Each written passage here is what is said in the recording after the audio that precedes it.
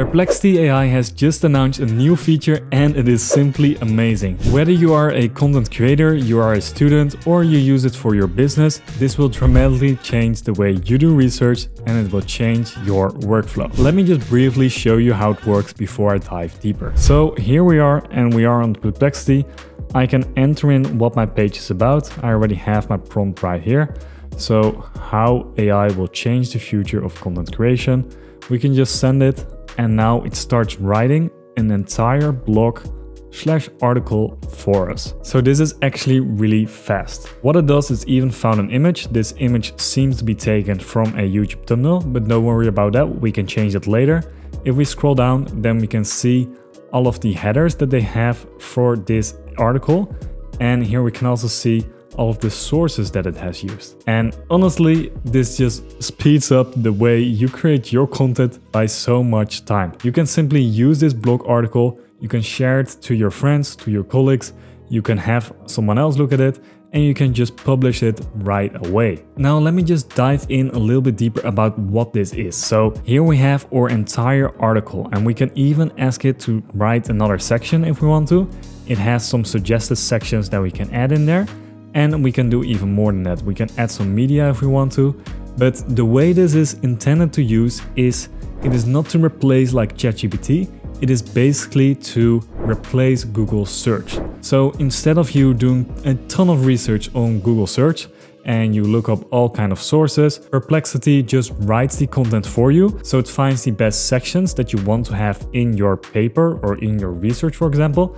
Then it gives you all of the sources. So over here, I can see all of the sources and I can see if those are reliable sources. And then it has written its own type of content from this. Now, let me show you how we can change everything from this article. So here's the first thing we can change is the header.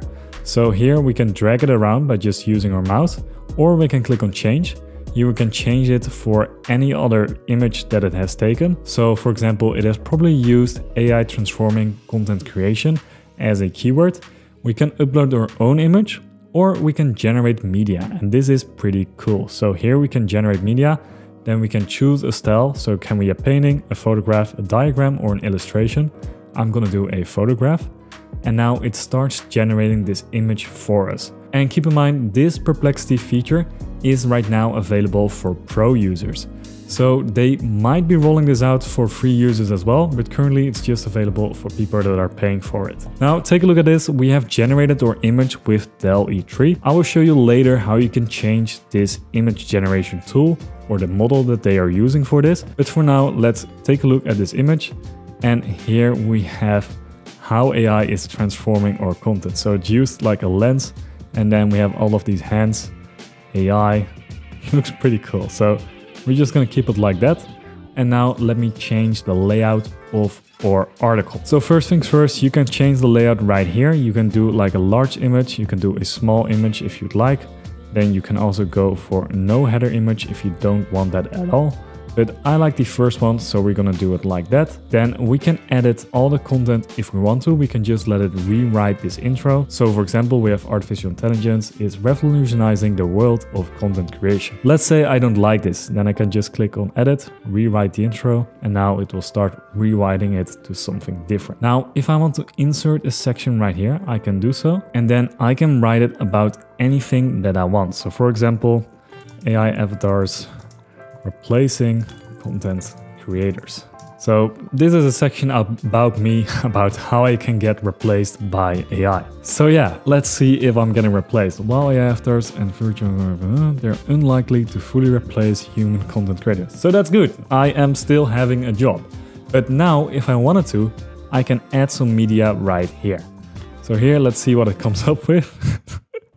the fucking goat the AI goat himself, Kwebbelkop, who ruined his entire channel with AI. I mean, it's a good image. It fits the theme of this article entirely. So let's just go with it. But otherwise, we can just change it if we wanted to. We can also do something like this. This is an AI generated avatar. Pretty cool and pretty accurate as well. Now, if we scroll all the way down, then we can see over here that we have a few options when writing or new sections. So for example, we can add media plus text. We can just do text only, or we can do media only if you'd like.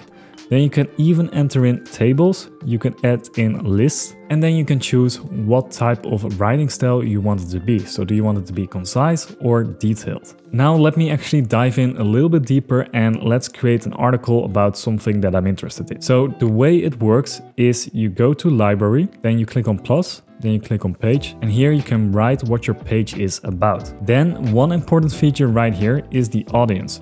So who is it for? Is it for anyone? Then it will try to make it understandable for anyone that's reading it. Is it for beginners? Then it will focus on making it not too complicated for beginners.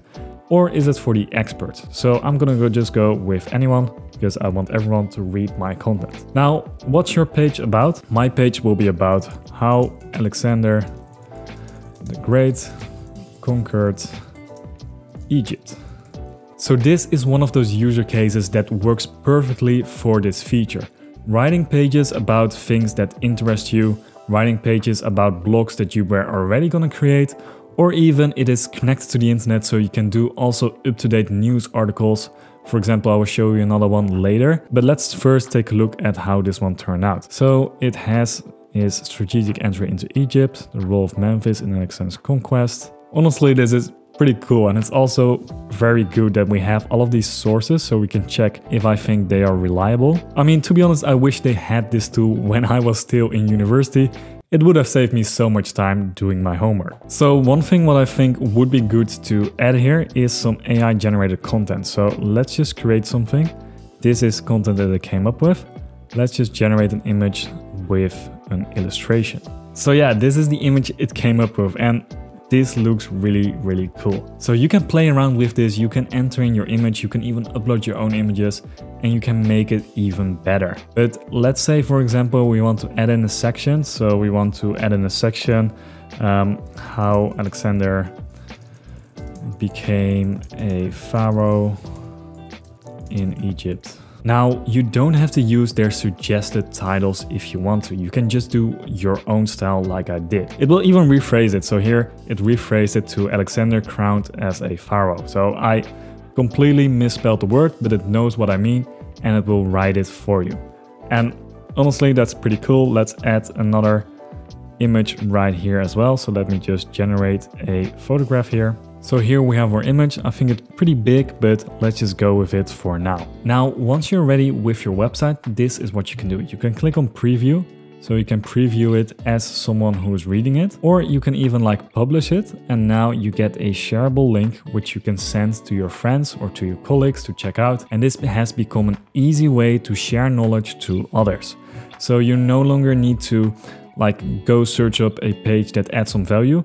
You can basically in a matter of minutes create your own blog article that you can send to your colleagues. For example, if you're explaining something, you can just type in exactly what you want to have in there and it will create a page for you and you can send that research paper to your colleagues, to your students, to your friends, to anyone that needs to read it. Now, if you're still not convinced that this is a good tool that will actually add value to you as a creator, I will show you another example. But before I do that, let me first show you how you can change your image settings in these settings. So if you scroll down here, you have a few options that you can choose from.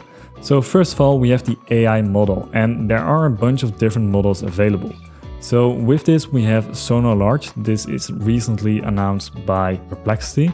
And I'm currently using this one because I think it's pretty good. But you can also use GPT-4o Literally test them out for yourself, see which one is the best one for your needs. But we have around like five different AI models in there. So if you're still debating whether you should go with ChatGPT or Perplexity, I would say get both because they're both different. If you're doing a lot of research, definitely get Perplexity and just play around with these models.